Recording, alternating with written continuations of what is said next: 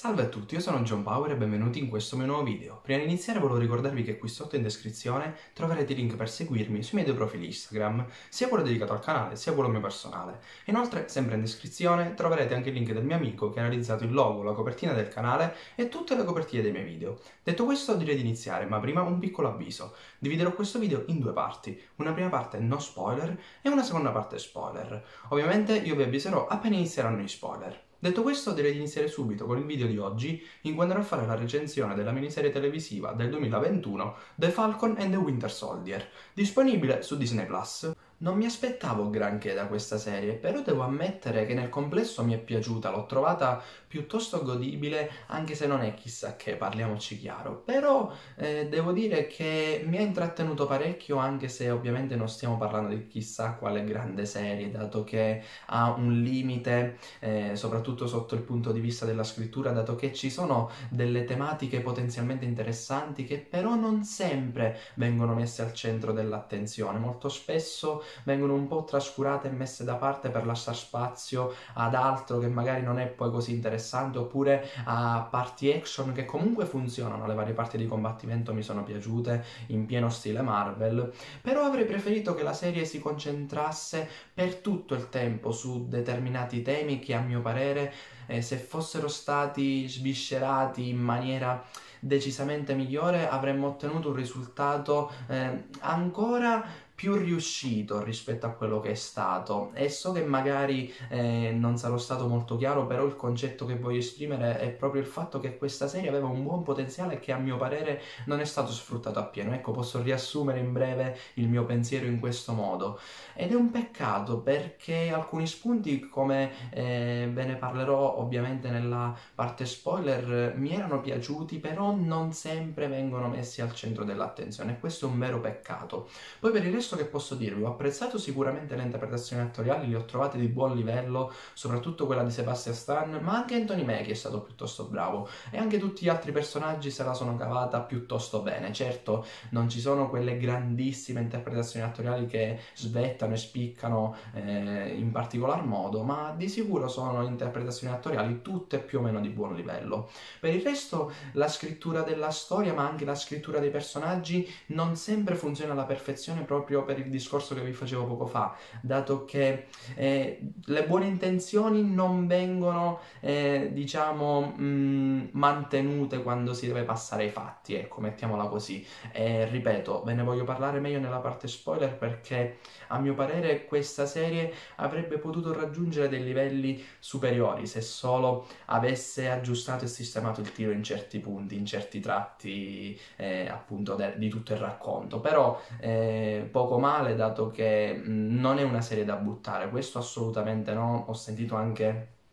parecchie critiche che posso anche capire ma mh, non mi vanno giù le critiche feroci eh, su questa miniserie perché mh, non stiamo parlando di una serie da bocciare sotto tutti i punti di vista, certo non sarà una serie che spicca particolarmente, ma non è nemmeno così orribile, cioè per passare tempo ve la consiglio assolutamente senza aspettarvi chissà che, ecco, non createvi grandi aspettative perché potreste eh, rimanere delusi, ecco questo ve lo posso dire con eh, piena e assoluta certezza. Per il resto, mh, mm, come vi dicevo poco fa, le scene action le ho apprezzate, mi sono piaciute tutte le varie parti di combattimento in pieno stile Marvel funzionano e anche gli effetti speciali mm, sono eh, di ottimo livello, cioè l'impatto visivo si vede e si nota, questo anche devo dirlo. Eh, ho apprezzato eh, certi punti, ci sono alcune scene che a mio parere meritano assolutamente di essere citate e menzionate e ve ne parlerò meglio nella parte spoiler.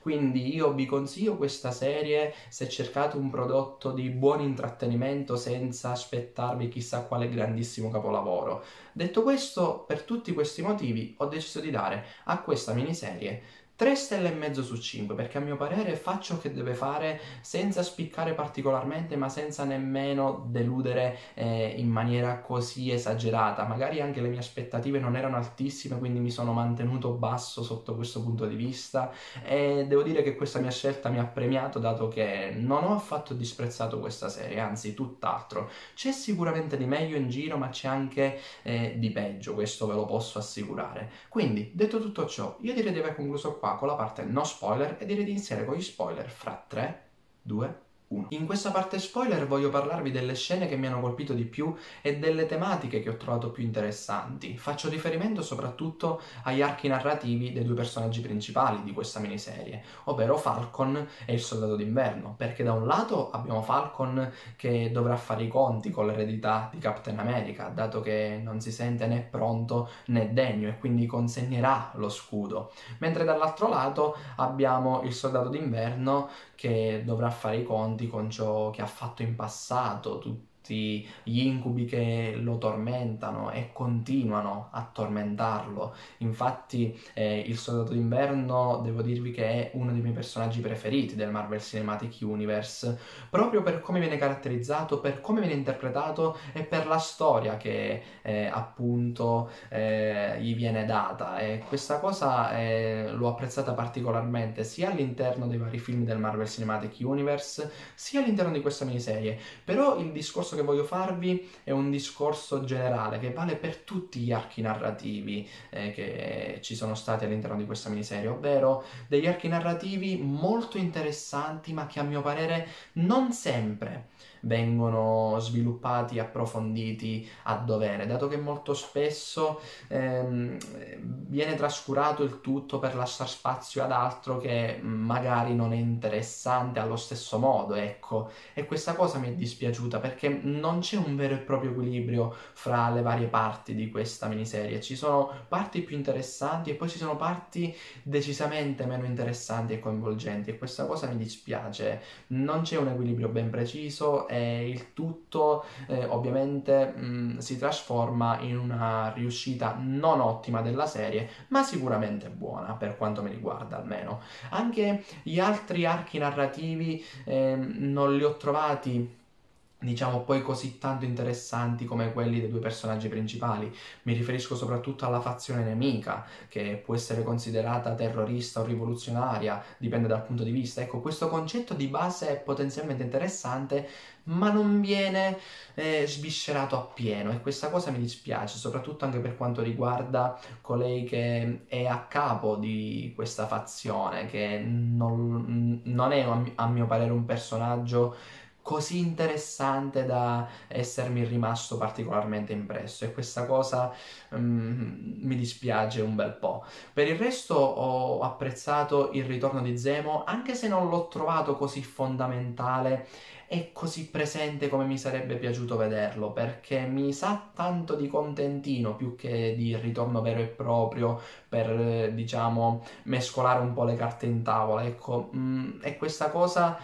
non mi è proprio andata giù perché è un personaggio che quando compare anche all'interno di questa miniserie eh, riesce a coinvolgermi però mh, non ha una presenza così tanto rilevante durante tutto il corso della miniserie. Per il resto, anche mh, Sharon Carter all'interno della serie non ha un ruolo così eh, determinante e decisivo da eh, farmela considerare come mh, fondamentale all'interno della storia che c'è in questa miniserie. Ecco, quindi è, il problema principale della serie è un po' la gestione del tutto, la scrittura sia della storia che eh, dei vari archi narrativi dei personaggi. In certi casi anche dei personaggi che non sempre vengono caratterizzati a dovere, però se c'è un'altra cosa che ho trovato interessante, eh, oltre agli archi narrativi, seppur non perfetti, è sicuramente l'arco narrativo del nuovo Captain America, ovvero John Walker. Ecco, quello è sicuramente uno degli aspetti migliori di questa miniserie. Peccato solo che c'erano alcune sfaccettature che a mio parere avrebbero meritato maggiore attenzione, però nel complesso anche in questo caso il tutto funziona, dato che appunto John Walker, essendo il nuovo Captain America, eh, dovrà mh, vedersela con non pochi problemi. E anche per come viene caratterizzato, dato che è un soldato pluripremiato, pluridecorato, il soldato perfetto per così dire, eh, non si troverà, mh, diciamo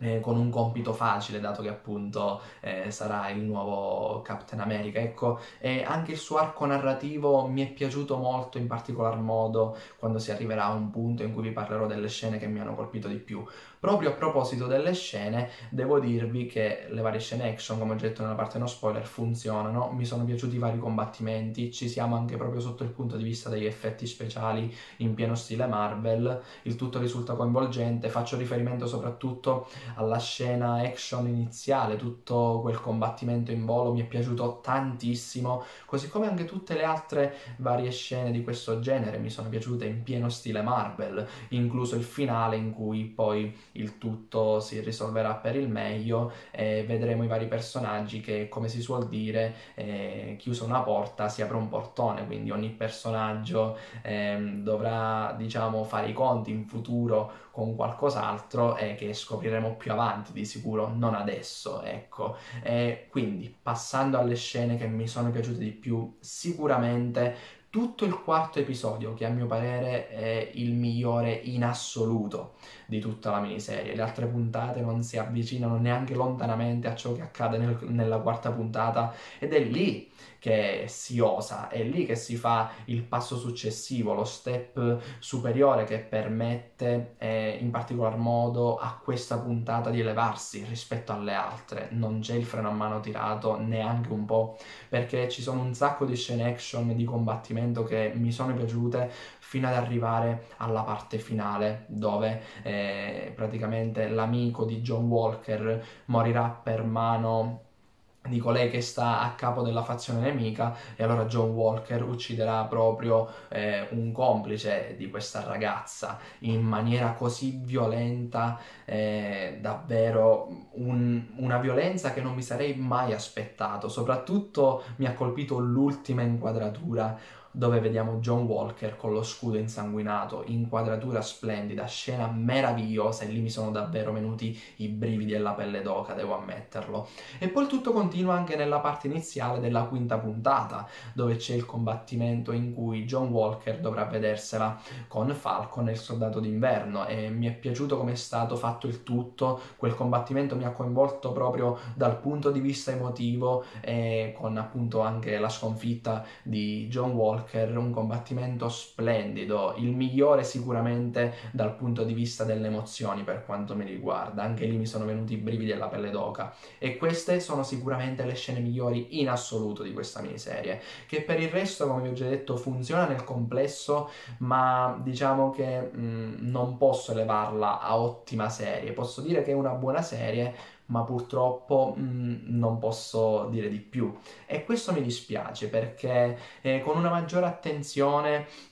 con, eh, soprattutto per quanto riguarda i dettagli, anche proprio dal punto di vista della narrazione, pur risultando scorrevole, il tutto non sempre coinvolge appieno, devo ammetterlo. Ci sono alcuni episodi mh, mm, in cui ci sono parti che a mio parere mh, mm, potevano essere tolte tranquillamente per lasciare spazio a un maggior approfondimento degli archi narrativi dei vari personaggi. Ah, e piccola nota a margine, ho apprezzato il costume di Falcon come nuovo Captain America America, questo lo devo ammettere, così come avevo apprezzato quello eh, di Wanda eh, alla fine di WandaVision, anche in questo caso costume ampiamente promosso per quanto mi riguarda. E appunto per quanto riguarda proprio il finale di questa miniserie, come ho già detto prima, il tutto si risolverà per il meglio con un combattimento che anche in questo caso mi è piaciuto, per meglio dire tutta la parte finale per come è stata gestita l'ho apprezzata e quindi il tutto eh, vedremo come continuerà con eh, i prossimi prodotti del Marvel eh, Cinematic Universe. Vedremo la Marvel come continuerà il tutto